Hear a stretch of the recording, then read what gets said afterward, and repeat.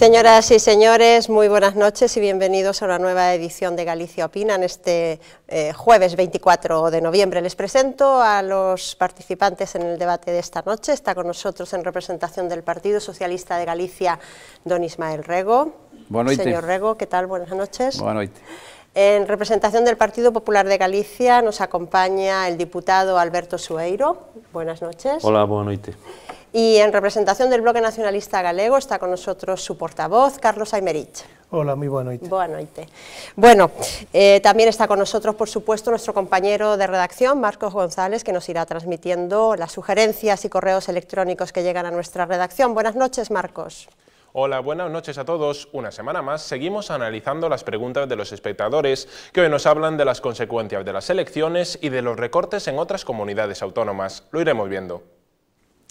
Bien, pues pasada la tormenta política que ocasionan unas elecciones generales, el Parlamento gallego continúa con la tramitación de los presupuestos eh, para el año que viene. Por supuesto, no hay acuerdo entre la oposición y el Gobierno gallego sobre el reparto de los 9.128 millones que la Junta destinará a financiar básicamente los servicios públicos. Tampoco hay acuerdo sobre el importe de endeudamiento que propone la Consellería de Hacienda para que la Junta cumpla con sus compromisos. La oposición considera considera que estas cuentas generarán más paro y que amparan más recortes. Las cosas siguen, por tanto, como antes, posturas enfrentadas en la Cámara y una mayoría parlamentaria popular que permite que los presupuestos sigan su trámite hasta su próxima aprobación en el mes de diciembre.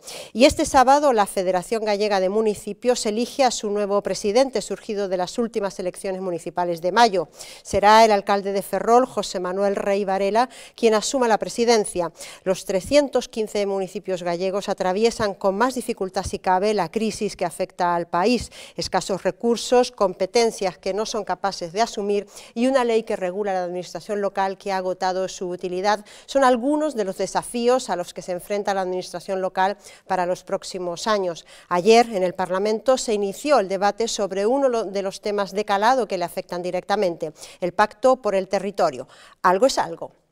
Pues eh, no salen las cuentas, la Junta no tiene suficientes ingresos para los presupuestos del 2012 y tiene que endeudarse en 769 millones el próximo año para cumplir con sus compromisos, sobre todo en el ámbito social. Veamos el detalle en el siguiente informe. Los presupuestos de la Junta para 2012 han superado la primera barrera, han sido admitidos a trámite tras ser rechazadas las enmiendas a la totalidad presentadas por los dos grupos de la oposición. La consellera de Facenda fue la encargada de defender unos presupuestos que considera rigurosos, que según ella optimizan los escasos recursos disponibles, conteniendo el gasto sin caer en los recortes sociales. Optimizamos, señorías, non recortamos. Creamos valor dentro da xestión de recursos escasos e gañamos marxe para manter unha política de estímulos ao crecemento cando máis o necesitamos. Pero según la oposición, la Junta no ha conseguido mantener el delicado equilibrio entre la optimización de recursos y los recortes sociales. Tanto PSDG como Bloque denuncian un ataque planificado contra servicios esenciales como la sanidad y la educación. Vostedes reduciron 1.500 millóns de euros en gasto social e non teñen ningún pudor en darlle un novo mazazo ao estado de benestar logrando algo que fai un ano parecía imposible, empeorar os servicios públicos que habían conseguido naquel ano. Además, si nos fiamos de la oposición, todos estos recortes ni siquiera garantizan unos presupuestos solventes. Socialistas y nacionalistas critican un endeudamiento excesivo, cuyo objetivo afirman no conocer. Que unha familia pode endebedarse para dar aos seus fillos unha mellor educación, para ter unha vivenda mellor, para mellorar o seu benestar e a súa saúde. O que non pode endebedarse, señora conselleira, é para xogar eses cartos no bingo. E a vista, a vista destas, desta situación, nos preguntámonos onde están metendo vostedes os cartos. Pero la conselleira de Facenda considera imprescindible el recurso al endeudamiento para poder garantizar los servicios sociales. Según ella, Galicia contará en 2012 con 3.000 millones de euros de menos, debido a la herencia del bipartito y a los incumplimientos del Gobierno central en materia de financiación autonómica. Bien, eh, las enmiendas en, han sido rechazadas, las enmiendas presentadas por la oposición, por lo tanto, eh, se continúa con la tramitación para la aprobación de estos presupuestos en el mes de, diciembre. Para usted, señora Aymerich, las, los presupuestos amparan recortes sociales, la ley de acompañamiento, según usted, y cito entre comillas, favorece a ciertas empresas, lo decía usted ayer en el Parlamento, y la deuda, de, el endeudamiento de 769 millones tampoco le convence al BNG. Eh, mm, ¿No hay nada que le convenza en estos presupuestos? Vamos a ver, non somos conscientes de que estes orzamentos están elaborados nun contexto complicado, non? Un contexto complicado de crise económica, de crise social, que tamén é unha crise fiscal, porque hai unha crise tamén no que se refire aos ingresos, seña pola vía dos tributos ou pola vía das transferencias do Estado a través do sistema de financiamento. O que sucede é que iso requeriría por parte da Xunta de Galicia unha estrategia diferente. Nos eh, estamos vendo que hai unha crise de ingresos, pero que este ano os orzamentos van incrementar os ingresos, perdón, os impostos para os que menos teñen, refírome o canon da auga, refírome o coeficiente de vertedura, refírome a aprobación nestes orzamentos de novas taxas de novos prezos públicos que vai pagar o conxunto da poboación teño os cartos que teñe, sen embargo, e sen embargo se renuncia, por exemplo, a Xunta non quere exercer a potestade tributaria que ten para que no IRPF, e a Xunta ten capacidade para facelo no treito autonómico, aquelas persoas que gañen máis de 100.000 euros ao ano podan contribuir máis para que no imposto de patrimonio, que hai que lembrar que até o ano 2008 tiñan que pagar o imposto de patrimonio aquelas persoas que tivesen un patrimonio superior aos 108.000 euros excluída a vivenda habitual, agora fixasen 700.000 bueno, cando os funcionarios, o conxunto dos empregados públicos, o conxunto dos traballadores que están vendo como se reduce o seu salario, se lle está pedindo un esforzo e teñen que facer un sacrificio que, repito, no caso dos, dos empregados públicos, supón xa unha perda de poder adquisitivo de máis dun 13%, iso tamén é un imposto, home, nos pensamos que que se poña un imposto sobre o patrimonio para aquelas persoas que teñan un patrimonio superior a 300.000 euros non parece un sacrificio demasiado desorbitado e si contribuiría a mellorar os ingresos. E logo só unha cuestión. Decía a conselleira de Facenda este día no Parlamento que o problema dos ingresos é os incumprimentos do goberno central, eses 805 millóns de euros. Eu supoño que agora con Mariano Rajoy ese problema desaparecerá. Supoño que agora que o Partido Popular vai gobernar en Madrid e parece que vai haber mesmo ministros galegos eh, sen contar co propio Mariano Rajoy que dixo que ninguén eh, pode gañarlle a él non naquilo de ser galego, vamos, a non haberá nin que reclamar que a primeira medida que tomará ese goberno enviar o cheque a Galiza de 805 millóns de euros que nos deben, de acordo co sistema de financiamento. Desde logo o Bloque Nacionalista Galego vai non exixir.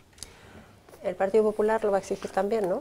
Ben, eu creo que onte o, o presidente foi claro, non? Foi claro, eh, eh cando ele falaba de, de como se deben establecer as relacións entre eh, os gobernos autonómicos e o, e o, e o goberno central. E dixo de exercer a responsabilidade e a firmeza. Eu creo que son e a, lealdade, non? E a lealdade institucional que foi algo que mm, votamos de menos tamén en este en este tramo da, da legislatura. Por lo tanto, hai que, eh, eu, nós polo menos creemos que esa vai a ser a postura do goberno galego de firmeza en aquelas cuestiones en que efectivamente se estaban eh, solicitando porque eran de xusticia, entre as que está o cumplimento do modelo de financiamento, lealdade institucional que se vai a manter, que como ata agora, para conseguir eh, non ser un problema para España, sino ser parte da solución e cumplir con todos os obxectivos que temos marcados en referencia a, a, aos, ao, ao déficit e o endeudamento, eh, etc.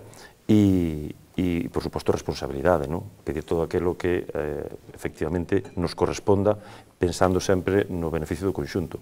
Eu non me cabe ninguna dúda de que o presidente, igual que o fixo isto de agora, vai non seguir facendo exactamente igual cando o goberno, cando chegue o goberno do Partido Popular, porque dice constantemente, ahora que, ahora que, no, ainda, eu creo que dá que darlle polo menos a, a, a, digamos, o plazo, eu xa non digo nin os 100 días de, de, de que chegue o goberno, pero polo menos que chegue, que chegue o goberno, non?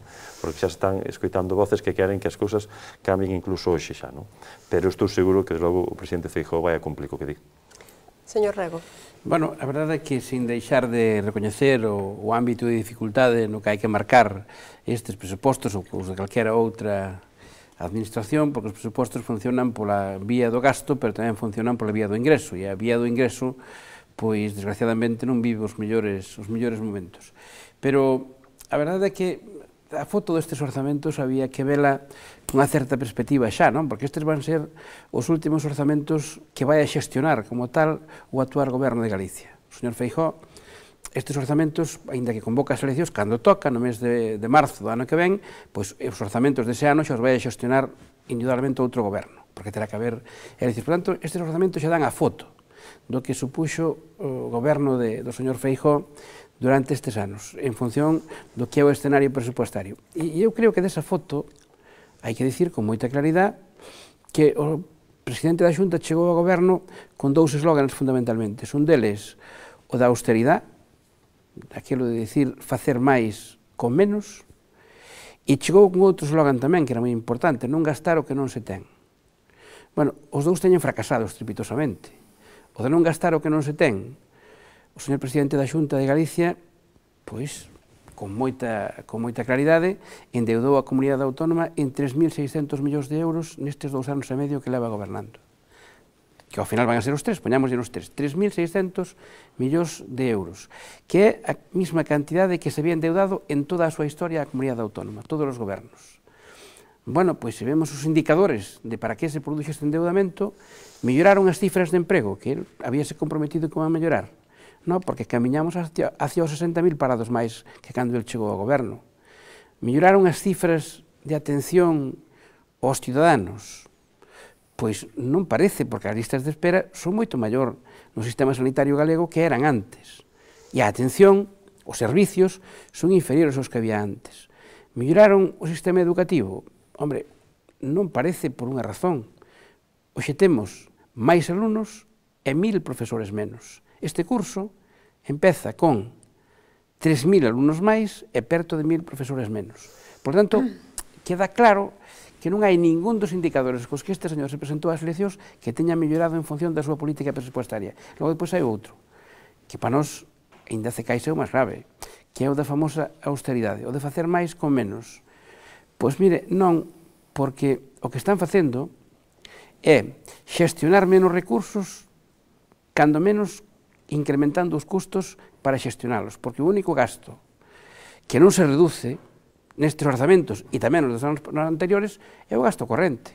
Por tanto, ese gasto anula calqueira tipo de, de visión e, desde logo, de compromiso do presidente de facer máis con menos. Non, está costando máis xestionar menos. Ese é un feito incontestable. Señor Sueiro, supongo que quere contestar. Sí, porque, bueno, eh, efectivamente, non podense presentear as cousas cando un, como un queira, pero o que é certo é que estamos eh, xestionando mm, eso, moitísimo menos moitísimo menos, porque hai que ter, en conta que eh, o orzamento do 2012 retrotraenos os ingresos do ano 2006 e a capacidade de gasto do ano 2006. Eso sí, que a estructura de gasto do ano 2012. Por lo tanto, cos mesmos ingresos que eh, tiña a Xunta de Galicia da Economía Galega no ano 2006, vai haber que xestionar pois a Galicia do 2012. Iso é, sin duda, desde logo, facer máis con moito menos. Non? porque ademais, eh, bueno, as cifras eh, son realmente importantes, non? Hai que pensar que o orzamento do ano eh, 2012 respecto ao último que manexou, por exemplo, o bipartito do ano 2008 é de 2.645 millóns menos. O sea, hai que manter a mesma estrutura con 2.645 millóns menos. E en esas condicións, dicir, non, é que eh, as listas de espera son máis, pois todo iso non é certo, porque o que resulta deste orzamento, do análisis deste orzamento, é que se consigue manter o gasto social e, e incrementar o gasto social en 7,7 puntos e, destinar a ese obxectivo 3 de cada 4 euros que ten este orzamento. E ese é, eu creo que, un dos grandes logros deste, deste orzamento, que con moitísimos menos recursos estáse conseguindo, efectivamente, manter eh, o, o, o nivel do estado de benestar, manter todos os servizos públicos e, ao contrario de outras autonomías onde se están pechando hospitales, onde se están facendo eh, recortes eh, dos salarios dos funcionarios, onde se fala xa abertamente de pagar por servizos sanitarios, en Galicia non só eh, non estamos en a situación todo se mantén funcionando, todo se mantén optimizado e estáse construindo hospitales, estáse eh, seguindo investir, eh, se, se sigue investindo en abrir centros de saúde e se sigue investindo tamén en facer obras e infraestructuras como bueno, pues, a autovía da Costa da Morte, que eu creo que, eh, se digo, fala de unha optimización clara dos recursos na peor situación económica que se recorda. Por lo tanto, eu creo que, mm, bueno, en ese sentido, o orzamento está extremadamente, extremadamente eh, apurado para que dé para todo. E respecto ao endeudamento, mira, o endeudamento depende de dúas cousas. Eh, primeiro, de cumplir os objetivos de déficit que temos, para ser solidario, como decía, que a economía de española e non convertirnos un problema para España, senón parte da solución, cumplir esos objetivos de déficit, e somos unha das dúas comunidades que o leva cumplido nestes dos últimos anos, e despois da capacidade de pago. E precisamente eh, a, a, o endeudamento que, que ten asumido, que vai asumir no ano 2012 a, a Comunidade Autónoma Galega, é o que, eh, pa, o que ten capacidade de pago para asumir. Porque, de feito, nas enmendas, nas enmendas dos, dos grupos eh, da oposición, neste caso, falábase de incrementar o gasto, gasto que se financiaba vía imposto, pero ante calquer ante calquer eh, evidencia, ante calquer eh, problema de, de caída dos ingresos mm, pues, polas distintas razóns que se poden producir, a máis evidente é que se hai unha caída de actividade, evidentemente caen os impostos. Esa, esa maior gasto ou non se realiza ou hai que financialo vía endeudamento. Por lo tanto, eu creo que estamos falando efectivamente dun presuposto nunhas condicións eh, realmente difíciles e que se está extremando ao máximo e optimizando ao máximo para conseguir manter a, a, o sistema público galego en moi boas condicións. Señora Emerich, brevemente para poder no, cerrar moi brevemente, este vamos a ver, tema. eu creo que as dificultades non as nega ninguén, o que estamos discutindo é como se reparte a carga da crise.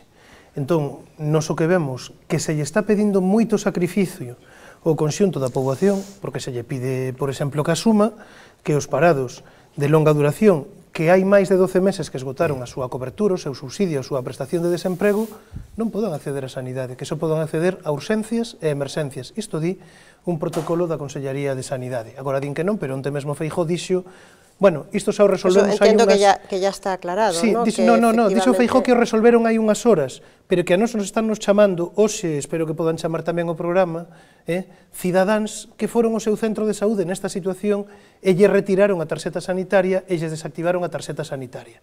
Desde que nos denunciamos iso esta semana no debate están activando as tarxetas. Pero claro, é que por esa vía é moi fácil cuadrar o déficit. É moi fácil cadrar as cifras do déficit dicindo a partir do mes de setembro non se pagan facturas pechamos a tesouraría no mes de setembro, entón cadramos as cifras do déficit. Iso sí, vamos metendo facturas na gaveta que haberá que pagalas con cargo ao orzamento seguinte. Iso non é cadrar as cifras do déficit. No, que cadrar, no, no, perdón. de gastar. Xa, xa, deixar no, no, de gastar. Non meter no, no, as facturas na gaveta, deixar no, de gastar. Non é deixar de gastar, é deixar de pagar, que é unha cousa ben diferente. No, gastar, é unha cousa claro. ben diferente, igual que cando se di, é que estamos reducindo o gasto en persoal. Non, non, o que están facendo é pechar hospitais no Brán, é dicir, non cubrir nin na sanidade, nin na educación, nin vacacións, nin baixas, nin... Eh, nin eh, sustitucións. Entón, claro, así é moi é fácil. No, pero... pero isto é como se unha familia, perdón, que non chega a fin de mes, di, bueno, pois a partir do día 20 non comemos, está ben. Se o corpo lles aguante, teñe unha reserva non de, de grasa suficiente, aguantarán, iso, a saúde se vai resentindo, mes tras mes a cousa vai a pior, pero como se reparte esta carga? Porque ao mesmo tempo que se lle piden estes sacrificios, os que menos teñen, e por certo, os que menos culpa teñen da crise, estamos vendo como día a conselleira é que non hai marxe para incrementar os impostos os que gañan máis de 100.000 euros ao ano, os que teñen un patrimonio excluído a vivenda habitual superior aos 300.000 euros, home, pois eh, algún sacrificio máis se lles podía pedir, non? Bien, eh, a, se nos acaba el tiempo para... Sí, no, para... Eu, eu solo sí. dous matices, mira, acúsasenos de todo, non? Por un lado, acúsasenos de que efectivamente reducimos o personal, agora xa non, agora, non, non, non é que reduzcan personal, é que pechan hospitales. Todo eso non está pasando. A 20, Hospital Avente que, Lago na Coruña no Brán. Ocurre no mes de agosto, Hospital nas, Avente Lago da Coruña, Bello Hospital Militar, anos, pechado. Desde que eu recorde, eh, no, nas plantillas e, e a estrutura dos hospitales, digo, o funcionamento dos hospitales no Brán axustouse Pero, Alberto, por, por distintas razones. E nunca Carballo, se, coñeces Hospital nunca Avente Lago, sabes nunca que pechou, se pechou, nunca se pechou, este un, pechou? Un, nunca se pechou un hospital. Bueno. En todo caso, en todo caso, eu quero decir, por falar un, un pouco do tema dos impostos, non? Dous matices. O imposto do patrimonio. Nós queremos que é un imposto imposto que neste momento des, eh, desincentiva absolutamente o aforro e, ademais, é un imposto que se retirara e había un amplio consenso en España de bueno, retirar aquel imposto precisamente por unha cuestión que, eh, que eh, e, e, e refirme en Alemania a este imposto, por exemplo, chaman imposto dos parvos, porque o paga só aquel que efectivamente non ten os mecanismos técnicos suficientes para escapar dele. E está absolutamente demostrado que é un imposto que acaba gravando as rentas medias e non as grandes fortunas porque teñen, digamos, os mecanismos para, eh, eh, desde logo, escaparse dele. E un minuto, medio minuto. E despois outra cousa eh, relativa a, ao, ao incremento do imposto sobre a renta. O incremento do imposto sobre a renta que eh, eh na súa estructura de pago está soportado nun 80% polas rentas dos salarios, calquer modificación que se faga solo así directa sobre as tarifas incide precisamente sobre esas rentas, co cual calquer subida que se faga sobre o, a, as tarifas do imposto sobre a renta nos tramos medios, que era o que se pretendía, subir un punto ou dous, dependendo do, do volumen de ingresos, ao final incide precisamente sobre esa Eh, masa de asalariados que son os que pagan maioritariamente sí, son... o imposto sobre a renda. Por lo tanto, aí sí que estaríamos cargando pero... o, o imposto e estaríamos cargando o coste da crisis precisamente sobre os que están soportando. Pero... O camiño para Señores... dos ingresos para nós, logo, é a luta contra o fraude sí, e buscar no, no, precisamente... Les pido que non nos enredemos. Sí, sí, é o canon da auga. O camiño é o canon da auga, da auga O camiño é que haxa que pagar 10 euros por renovación de tarxeta sanitaria. A aparte que a loita contra, a loita contra o fraude, hasta ahora todas as iniciativas que houve no Parlamento para loitar contra o fraude, o Partido Popular votou en contra, non todas, todas, sin ninguna excepción. Non e, por tanto, eu creo que, vamos a ver... Eh, de feito, a, a, perdón, medio, medio segundo, só un apunte, hai os ingresos por, de recadación polos os plans de comprobación e inspección aumentaron un 23% bueno, vamos a ver, en estes dous últimos anos. Me gustaría saber canto supón esa cantidad, pero o problema que, Hombre, que eu vexo aquí Alberto, o problema que vexo aquí Alberto é unha cuestión que eu penso que hai que explicarla, hai que explicarla moi ben. O problema está en que todo isto, toda esta caída que está producindo a produción industrial e toda esta caída que está producindo no noso país, estáse producindo. Ademais de estar emitindo deuda por 3.600 millóns de euros, ademais dos recortes que están facendo en educación, porque non podemos olvidarnos que aquí este ano vamos a ter mil profesores menos. Aí sí que reducimos postos de traballo. Claro, reducimos donde? Reducimos no deterioro do ensino público. A cambio de que? Pero non nos vayamos a la educación porque realmente, se non, claro, nos ten moito vamos que ver, por las ramas, Ten moito que ver co presuposto, porque hai 3.000 alumnos máis e 1.000 profesores a, menos. A 13 comunidades autónomas, eso foi a modificación Por favor, por favor, mm, no, tenemos que realmente eh, ir resumiendo porque se nos acaba el tema mm. dedicado a, a, este, a este primer eh, asunto. Eh, vamos, por favor, con la pregunta de Marcos, de nuestro compañero de redacción, con la pregunta del espectador. Adelante, Marcos. Comenzamos con el correo de Guillermo que nos pregunta sobre los recortes en Cataluña, en concreto sobre la rebaja del sueldo de los funcionarios propuesta por Artur Mas esta semana. A este espectador le parece una medida comprensible para tiempos difíciles y quiere saber si verían con buenos ojos la implantación de algo parecido en Galicia. Bueno, efectivamente en Cataluña se están tomando una serie de medidas con respecto a recortes posibles en los sueldos de los funcionarios y de asuntos propios. Eh, señora Imerich. Bueno, eu xa o dixen, os funcionarios empregados públicos neste momento, despois do recorte dun 5% eh, nos, do, do seu salario en maio, en, bueno, aplicouse en suño xa, non? do ano 2010, da conselación durante todos estes anos, levan unha perda de poder adquisitivo acumulado superior aos 13 puntos. É dicir, de un ano e medio para co, perderon 13 puntos de poder adquisitivo. Iso é como se incrementaran o imposto sobre o IRPF nesa mesma, nesa mesma porcentaxe. Entón, nos pensamos que o camiño non é por aquí. Porque se ao mesmo tempo se di, non, non, é que non lle podemos subir o IRPF a rentas máis altas. É que non podemos establecer un imposto de patrimonio para quen teña un patrimonio superior aos 300.000 euros excluída a vivenda habitual. É que ao mesmo tempo sí que se está facendo, porque os impostos aquí sí que suben, dicíndolle eh, coa revisión do valor das vivendas a efectos fiscais que se incremente nun 30% o que hai que pagar eh, vía IBI. Isto está facendo a Xunta de Galiza. Entón, Este tipo de cuestións eh, a nós parecenos que o que hai que facer non é só decir non subimos os impostos, non, hai que subilos, pero a quen? Pero a quen? Hai que recortar gastos, os superfluos. Por que en vez de recortarlle os salarios funcionarios non se eliminan as deputacións provinciais?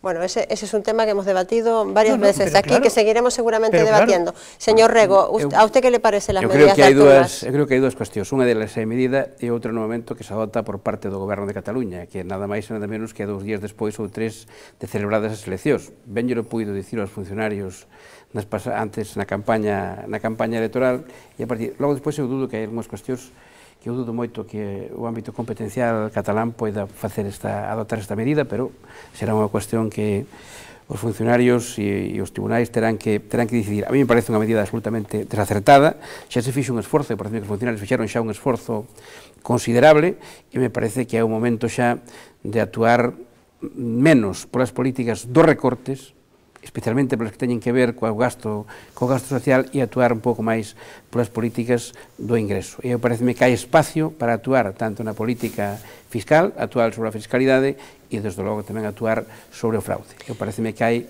moito un volumen de recursos no fraude que se debe de, que se deben de buscar e aí hai un espacio importante para obter recursos e outro, desde logo, unha, unha reforma fiscal que equilibre pois o, as consecuencias da, o facer frente ás consecuencias da crisis en función dunhas cargas equilibradas. Señor Sueiro, 30 segundos que tenemos máis temas. No, eu digo que, bueno, que, que, que é certo que o esforzo ten que estar repartido entre todos e a carga da salida da crisis ten que estar repartido entre todos. E é verdad que, efectivamente, entre a maioría da población pois eh, hai sempre a concepción de que o funcionariado ten un, digamos, un matiz que esa seguridade no traballo que non pode ter ahora mismo outras persoas. Non? Pero, desde logo, a vía, a vía non é eh, reducir salarios se, en ningún caso e menos xa dunha administración que xa foi, de alguma maneira, reducida polos, polo goberno socialista e, por certo, un goberno nacionalista o que ora propón esa, esa medida.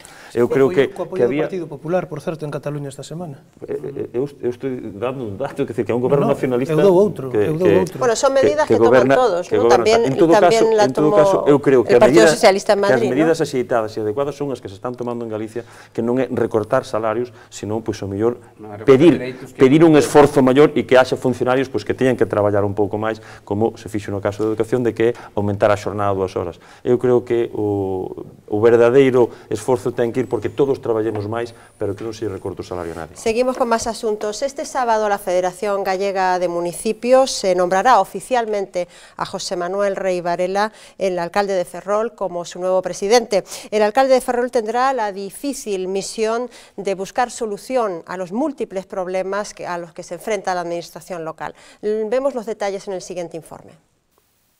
La FEGAMP afrontará a partir de este sábado una nueva etapa. Del pleno de su octava asamblea, la Federación saldrá con una nueva hoja de ruta y un nuevo presidente, el popular José Manuel Rey, alcalde de Ferrol desde las elecciones del mes de mayo. El pleno trabajará por fijar las bases de una ley gallega de administración local que sustituya la de 1997, insistiendo en la transparencia de las gestiones municipales, la regulación más homogénea del funcionamiento de los órganos de gobierno o la racionalización del sistema de competencias, para evitar duplicidades entre las administraciones. La ordenación territorial también se abordará en la Asamblea, tema que ya ayer consiguió captar la atención del Parlamento Autonómico. Junta y oposición acordaron buscar el consenso para una nueva ley urbanística mediante la creación de una comisión parlamentaria, un trabajo dirigido a agilizar trámites y diferenciar entre pequeños y grandes ayuntamientos. Un plan será dirixido ás grandes cidades e aquelas vilas que presenten unha maior complexidade urbanística e outro plan dirixido a aqueles concellos menores de escasa complexidade urbanística e que nunha grande maioría teñen xa determinadas cautelas derivadas de figuras de protección naturais que limitan e condicionan as posibilidades de desenvolver un urbanismo inadecuado. Aunque aceptaron la propuesta de diálogo, Benega y PSDG también quisieron dejar claras sus condiciones. Porque se o modelo territorial do Partido Popular, antes de falar de normativa, antes de falar de técnica, é o territorio como un taboleiro de xedrez, de xedrez donde se xogan os intereses especulativos, aí non nos van a topar os nacionalistas. Se chegamos a un acordo, do que temos que falar é de asegurarlles un marco de referencia legislativo en torno ao cual poidan facer ese planeamento e que non lo andemos cambiando cada 15 días. Los primeros pasos parecen dados. Ahora se necesitará tiempo para comprobar que el acercamiento no queda únicamente en buenas intenciones. Bien, eh, la FEGAM pide, está pidiendo, ¿no? la propia Federación de Municipios está pidiendo, por una parte, una reforma de esa ley que dicen que ya está obsoleta, que es la ley de 97, si mal no recuerdo, y, y una de las demandas es, que conlleva la ponencia que llevan el sábado a la Asamblea General es precisamente el Pacto para el Territorio. Eh, ayer parecía que había por lo menos una primera voluntad política para, para llegar a este pacto. Ya hubo intentos en el pasado que fracasaron, Señor Rego, mm, ¿usted cree que en el próximo curso parlamentario se llegará a este acuerdo? Eu penso que vai depender da posición do goberno e do Grupo Parlamentario Popular fundamentalmente. Creo que é necesario un gran acordo polo territorio, un gran acordo pendiente que hai, que hai en Galicia. Houbo grandes acordos sobre cuestións relevantes de país no que é a configuración do, do entramado institucional da, da comunidade autónoma, o acordo sobre a lingua, un acordo importante que vaise debilitando pouco a pouco, pero si foi un gran acordo de país, e o que nunca se logrou foi un gran acordo sobre o territorio. Pareceme que era unha asignatura pendiente que temos como, como país. Isto, lóxicamente, ten consecuencias, porque temos, eu creo que moi mal reglada a relación dos ciudadanos e das súas institucións co propio territorio, e ten consecuencias que no ano 2002 xa foron referenciadas por daquela conselleiro Cuiña con aquela famosa lei do feísmo, que chamaban, posteriormente esa lei que nace desgraciadamente tamén sin consenso, foi modificada dende aquela ata hoxe, cando menos en dez veces, a Lei de Ordenación Urbanística de, de Protección do Medio Rural de Galicia debe de ser o marco de referencia para que os concellos poidan facer planeamento. Claro, se si en estes anos lle la modificamos dez veces, así é imposible deixarlles que fagan planeamento, porque se lles cambiamos o marco de referencia non ten ningún tipo de sentido. Por tanto, que condicións ou que pautas marcamos os socialistas de principio para viabilizar ese posible acordo. Hombre, cando menos deberíamos de buscar un marco de estabilidade legislativa para que os concellos poidan diseñar o seu planeamento con normalidade e con certa seguridade xurídica e tamén dendo respeto ao seu ámbito competencial e, desde logo, Para nós vai ser fundamental, se este acordo se produce, que ademais, para calqueira tipo de modificación, haxa que facela a través dunha maioría reforzada como mínimo de dous tercios da Cámara, porque non pode ser que a través de calqueira tipo de lei se este modificando a lei de urbanismo de Galicia. Por exemplo, esta lei de orzamentos, a lei de acompañamento dos orzamentos, modifica a lei de ordenación urbanística de Galicia. Para mellorala e para facilitar o planeamento, non, non para establecer estándares de discrecionalidade na actuación do goberno, por exemplo, nos estudios sobre impacto ambiental, na avaliación ambiental. Por tanto, vai a ser o conselleiro a partir da hora, o conselleiro de ordenación do territorio, xuez e parte no tocante a decidir quen vai, que proxectos ou que actuacións necesitan estudio de impacto da avaliación ambiental ou que non. O sea, convírtese a persona que ten sobre sí as competencias en materia de legislación urbanística enxuece parte sobre esa actuación. Eu penso que eso é moi malo e, desde logo, se se camiña en esa dirección, con nós non se vai a contar. Se se camiña na dirección de facer un marco estable para os concellos, que lle sirva para ter garantía, seguridade xurídica que lle sirva para facer con tranquilidade o seu planeamento, nós vamos estar aí e eh, se ese marco estable, ademais, logramos dotalo de unha certa garantía no tocante que a súa modificación has de facer con unha maioría reforzada na, vía, na vida parlamentaria, eu pareceme que eso será un punto de partida moi bon para dunha vez por todas normalizar a relación dos ciudadanos e as súas institucións co territorio. Señor Soeiro. No, eu, eu iba a decir, iba a intervir dicindo que non se podía decir xa millor, xa estaba dito, non? Crear un marco de estabilidade eh, suficiente, marco de estabilidade legislativo que permitira mm, tanto a planificación como a execución eh, urbanística esa seguridad que se necesita para precisamente poder desarrollarse eficientemente. Entonces, iba a decir, a miña intervención iba a ser xa o dixo Ismael Rego, dito está, eso é o que queremos todos. Pero bueno, xa tuvo que meterse aí no tema de, da lei de acompañamento pero, para mezclar... Pero ten razón tamén. No, non a ten, para mezclar ten, urbanismo ten. e protección ambiental, que non son que son cousas absolutamente distintas, Hombre. e o que persigue no urbanismo e protección ambiental son, desde o punto de vista legislativo, cuestiones diferentes. Pero, ademais, eu o que iba é que eh, esa modificación o que pretende precisamente é, eh, de alguma maneira, eliminar eh, ou facilitar que haxa eh, trámites que se estaban duplicando e que estaban de alguma maneira agora interrumpindo e, e, e complicando a tramitación de proxectos, evitar esas duplicidades e o que está xa avaliado que non teña que volver a avaliarse. Pero en todo caso, e volvendo o, a pregunta original, eu creo que efectivamente o que se necesita agora, unha vez que hai unhas normas de carácter xenérico como son as, as directrices de ordenación do territorio, o plan de ordenación do litoral, que maioritariamente pois, teñen un grado de aceptación suficiente para servir de, de marco. O que cumpría era ahora eh, facer ese marco estable en materia urbanística para que efectivamente de unhas por todas eh, todos eh, sepamos como queremos ocupar o territorio, que sean unhas normas que nos sirvan a todos e que poidamos eh, presentarlle a todos os ciudadanos ese marco eh, xa digo, tanto para a, non só desde o punto de vista dos concellos para facer a planificación fundamental fundamental, senón tamén desde o punto de vista dos usuarios do urbanismo e da planificación urbanística para que todos teñamos ese marco que nos permita, digamos, traballar con certa expectativa de seguridade e de tranquilidade, porque eso facilita, sin ningún o desenvolvemento da, da economía e do territorio. Señora Merich. Bueno, creo que a FEGAMP terá varias encomendas, non ten varios cometidos. Pois un, desde logo, pode ser este, do ordenamento do territorio, logo farei algunhas matizacións, Outro, eu creo que racionalizar as retribucións no ámbito local. Hai, por exemplo, en Euskadi, a través da asociación equiparável non? A, a FEGAMP, hai un acordo, porque non se pode establecer por lei, porque afectaría o que é a autonomía eh, orzamental non? Eh, financeira de cada concello, pero establecer criterios obxectivos para evitar que a retribución dos cargos locais sexa motivo de debate, e iso pode establecerse en base a criterios obxectivos de poboación, de territorio, de...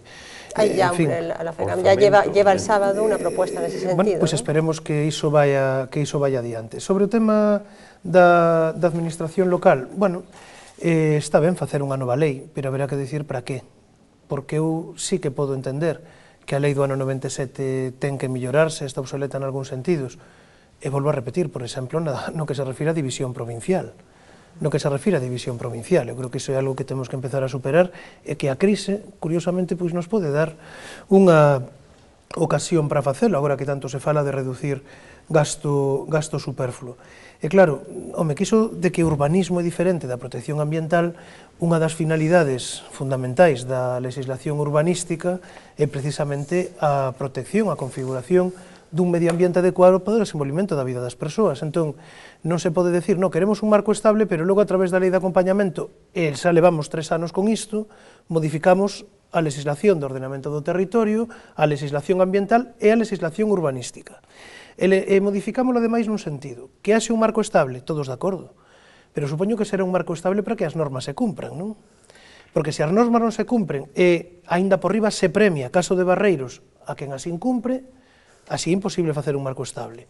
Se as normas incumpren e a esencia dependente da Xunta de Galiza que ten por encomenda vigilar e sancionar o incumprimento desas normas, por tanto, aplicar a disciplina urbanística perde a súa autonomía, perde a súa capacidade de actuación e deixa de actuar, estou me referindo á esencia de protección da realidade urbanística, o marco estable será, pero eficacia terá pouca.